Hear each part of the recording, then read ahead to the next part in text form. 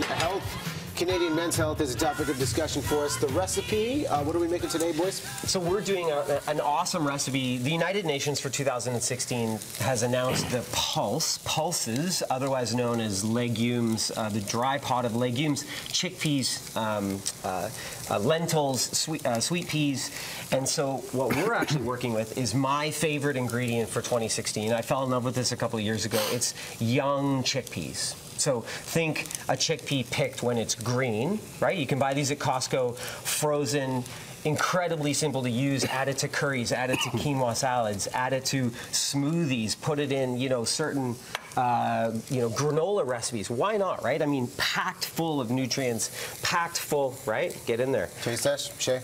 Packed full of Tastes goodness. Good. I didn't even know they existed for. Right. That, that's why you that's, guys are That's where the green at. ones. I knew chickpeas, obviously. Yeah, I mean, I love things like hummus, don't we all? But mm -hmm. you know, mm-hmm. there's so much more to a chickpea than um, just hummus, right? You can add it to all kinds of different recipes.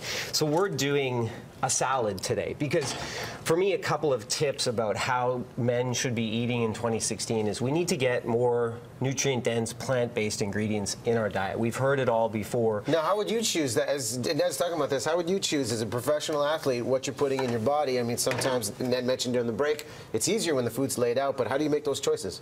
You know, funny enough that we're using this today, we bought one of these about two years ago, and it's a blessing. I mean, you can put anything you want into that, and it mixes it into like a, a drink that tastes good. Put a little bit of fruit in there, something citric, and uh, the Vitamix, right? It's like yeah. the magic you know, blender of all things, whether you're making soup, whether you're making, you know, pestos, relishes, chutneys, sauces. So we've actually grilled some avocado because a little bit of grill gives it some flavor. Yeah. Um, the recipe's on, on uh, your BT website. We've got some green chickpeas. Shay, I'll get you to add some uh, olive oil in there, about a cup, please. Just, just dump it in, it's fine.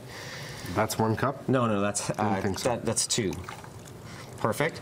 And again, it's all about tasting your food, right? So you want to make sure that you're um, tasting as you go. Mm -hmm. But you know, as a man, I like things to taste great. A lot around my home, I like it to be a little spicy. Like See, a good sous chef knows exactly where I was going. He knew, kind of he knew to pick oh. it. Oh, dude, you're, you're, hired, man. You're Am hired. I supposed to be doing this? Yeah. Cut up this Why don't you slide? Cut up that tuna. So roasted. Hands are washed. Don't worry, guys. Thank you. Ladies Very important. Roasted jalapeno. Yeah. Uh, take the seeds out, put it in there, little bit spicy, right? Um, a great way to add flavor is things like smoked oh, sea salt. Right? No, you're doing great. Smoked sea salt, because of course you're not adding a whole bunch of fat, you're adding flavor, which yeah. is really what great food is all about. Are there sp supposed to be debris like that? That's how I would cut it. That's why I would I'll blame do this. I'll this blame looks it on like a pretty good knife. I'll blame What's it on the. On I'll blame it on the. It's a bad blade. It's a bad blade. That's what happened here. I'll blame it on the knife. It's better him than me. I'll tell Um, so blend all of this up. Add some fresh herbs. It's shredded tuna salad, no, Shay. hey, don't be beating up my sous chef, or I'll take you hey, to he said he was going to give me some tips on the it's slicing technique here. I still have all my fingers. I'm yeah, good. yeah. See, I, I, I think he deserves uh, yeah, he deserves a, a hip hip hooray. Tuna right there. Try, try it with some of the smoked salt. So, mm. some fresh herbs, whatever you want. I've got some chives, some tarragon, some fresh dill. Basil would be great. Throw it in there. Olive oil, some citrus, salt. Blend it up. Yeah. Then you mm. get whatever your favorite salad is, right?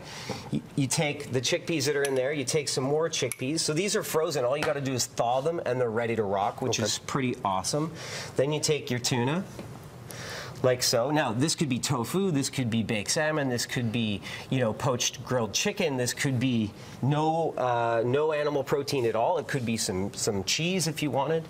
We'll take a few more some of... thicker uh, root veggies or something like that? Absolutely. I mean, you know, for me, it's all about getting at least 50% of your meal full on the plate with a vegetable. That's a good thing to keep in mind. Right? I mean, especially on the health tip, and we're here talking about Canadian Men's Health. Shay, for you, when you look at creating change and sustainable change uh, for healthier lifestyles, what are some basic tips for men, and perhaps universal tips across the board that will really help people change? As, as we were talking about earlier during the break, is uh, is just not having the stuff in the house. So when I go to the grocery store, that's where my willpower kicks in. I don't want to bring any of that crap that's in the center of the grocery store home because then I'm going to eat it. So if we just do a around the edges and we get the vegetables and the and the lean proteins and just have that type of stuff in the house, then I can graze and not worry about you know really what's going to be at home for me to eat on a daily basis. And I think that was really the, the changing point in my life is you know we started to get the uh, the the fresh veggies delivered to the house, so I knew every week I was going to have just a, a plethora of vegetables to choose from to one make smoothies to put into our power bowls. And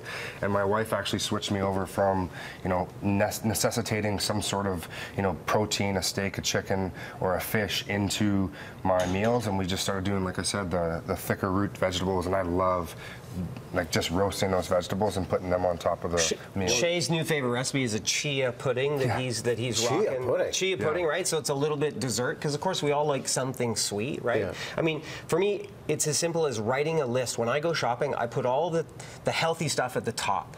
And I make sure I follow that list because we need those lists in our life, right? You need to be organized. You need to walk in there with a mission. It's like you don't go to a workout not knowing what you're going to do. Gotta have Otherwise, you game have a lame workout, right? Gotta like have your game when you're plan. when you're feeding yourself, food is the one thing that connects every human. You're feeding yourself, you're feeding your brothers, you're feeding your family, you're fe- feeding your sons. How are we going to teach them the, the tools that they need for their future? So, Speaking These- of feeding. These two right here are leading the charge. We're going to do the taste test. Uh, we have all of the details on our website with the recipe, Facebook page. We'll put the details up for Canadian Men's Health. There you see don'tchangemuch.ca. Great website to find out more. Look at Where that are the forks? Where are the forks? It looks you know what? Here, beautiful. I think you guys should get in there with your hands. We're going to share. It's going to be like a Sure, why not?